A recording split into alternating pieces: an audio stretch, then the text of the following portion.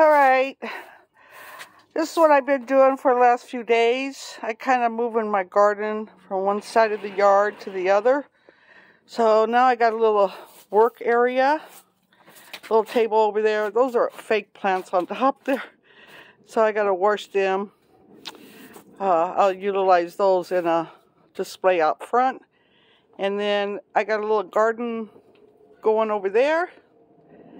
And uh, yeah, it's come along quite well.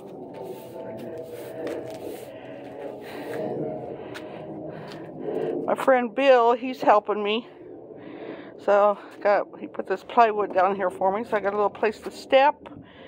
And there's some of my plants. I got some rosemary, got some herbs growing back there. Uh, I know most people are like, it's so cold here. It's a little nippy in the air here. And this is my she shed. she said, she said, she shed. So this is uh, my little area. I got a big bucket down there for my dirt. And there's all my tools. I got an old pitchfork that I'm going to hang up. I would hang my tools on there. I kind of like that idea. And, uh, yeah, so I got some seeds growing, germinating under there, hopefully soon. And, um, uh, yeah. So, I moved them from the other side of the yard over there. They were by the wall.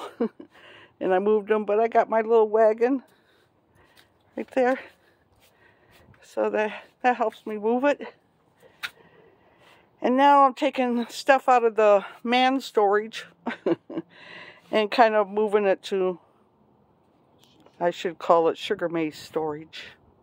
Sugar Maze shed. Where fun and lovable things are done. I got these lights. They're going to be hung for me. All right. I'll talk to you later. Bye.